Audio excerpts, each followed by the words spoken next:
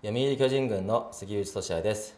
私は誰かの役に立ちたいという思いから骨髄バンクに登録しました。自分の周囲にも白血病と闘いながら頑張っている方がいて支援活動を続けてきました。一人でも多くの患者さんを救うために多くのドナー登録が必要です。今後も読売巨人軍とともに骨髄バンクへの支援を続けたいと思います。